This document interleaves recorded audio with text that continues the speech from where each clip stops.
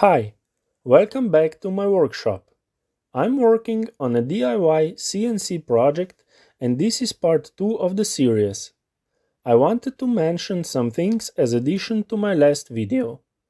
The casting is cast from aluminum and is from 5 to 10 mm thick from place to place with some critical parts much thicker. The YZ axis casting is very heavy and rigid but the main casting is a bit thinner but still plenty rigid as well. The only possible rigidity problem that I've seen right away is the cut in the x-axis which does make the outer rail of the x-axis a bit unsupported but if it causes problems with vibrations I can still attach one or two angular supports from the main body.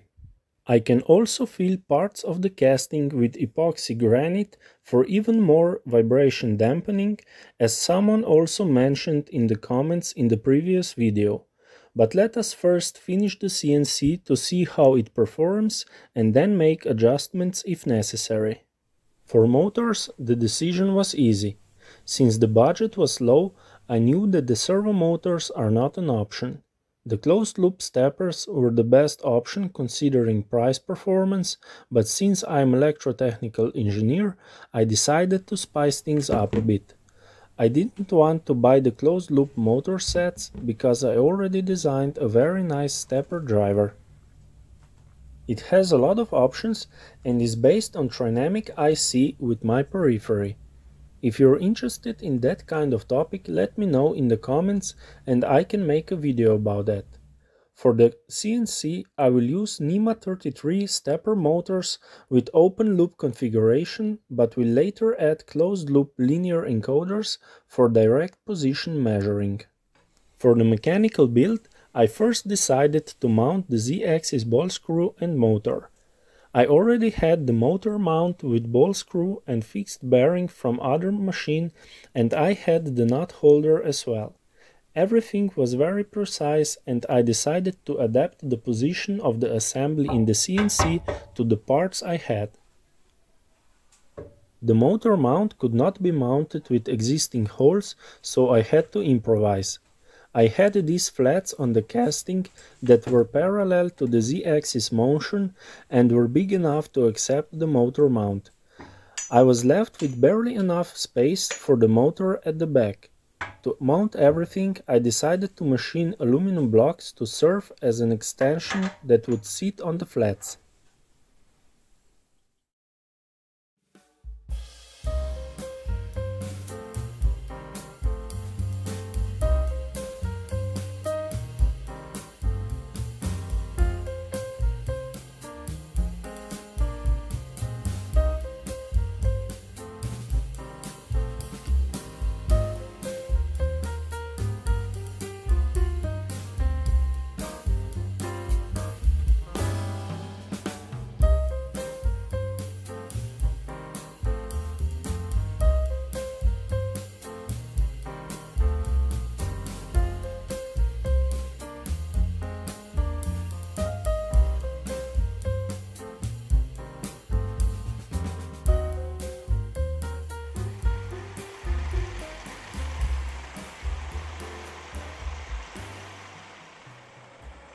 Here you can see me probing the back jaw of the vise as well as vise stop that is on the left. I used the DRO with zero position in that corner for most of the further drilling and milling operations.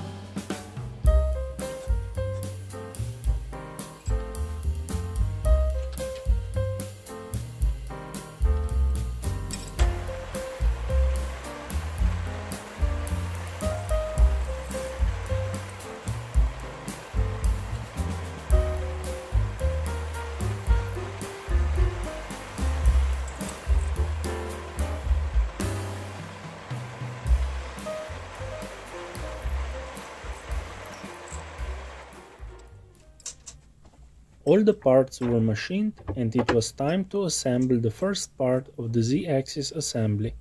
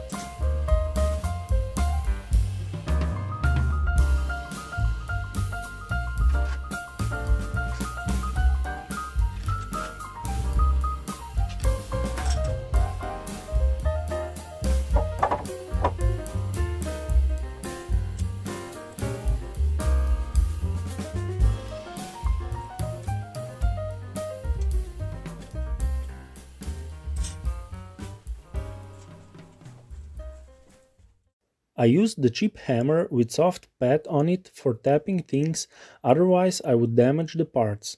It was very important that the blocks I machined are mounted very precisely on the motor mount.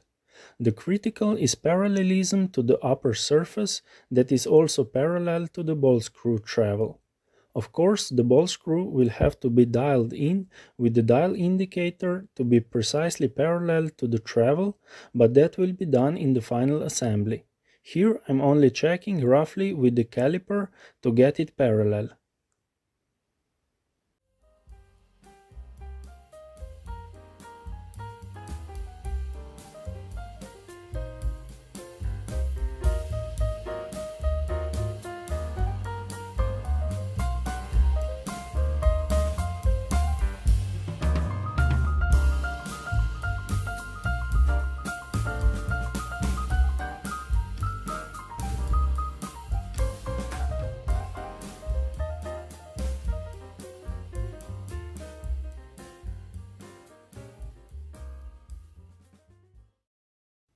Here is the mount for the ball screw nut. It is very precisely machined on the bore, but I had to machine two more blocks to mount it on the YZ casting. I found a long piece of aluminum and machined it flat, then cut it in half and machined the other side flat. Then proceeded with drilling the smaller blocks as well as the block for the nut. All the dimensions had to be precisely measured to fit the existing holes in the casting.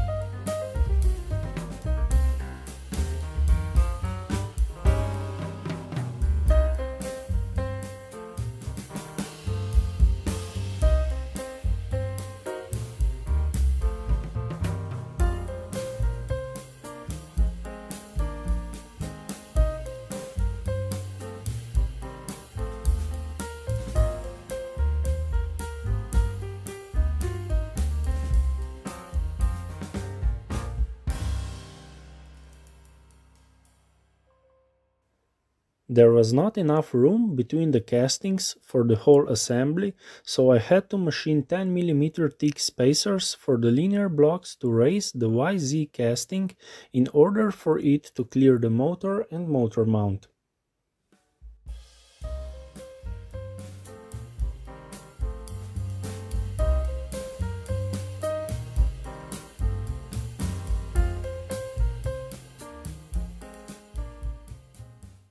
With that, the Z-axis assembly was finished. I'm very happy with the outcome and the placement of all the parts. I will try to regularly share the progress with you guys and would really appreciate the support with subscribing and hitting that like button if you enjoyed the video. Until next time, bye!